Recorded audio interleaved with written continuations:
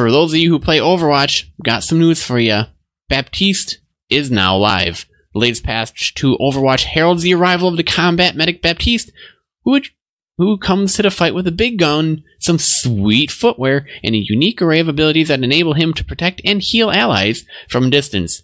His biotic launcher launches a three round burst with significant damage output, while the Altfire mode launches grenades that will heal allied players. His regenerative burst ability will heal himself and nearby teammates over time, while the immortality field will keep allies from succumbing to the icy fingers of death.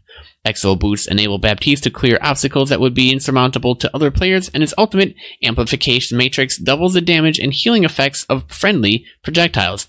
The patch also makes a number of balance updates to the game. Damage taken by armor from damage over time effects has been adjusted to be more consistent and predictable, and damage boosting effects will be applied when projectiles are fired inside or instead of when they strike an enemy, meaning that the hero who fired it doesn't have to be boosted when it strikes in order for the effects to apply.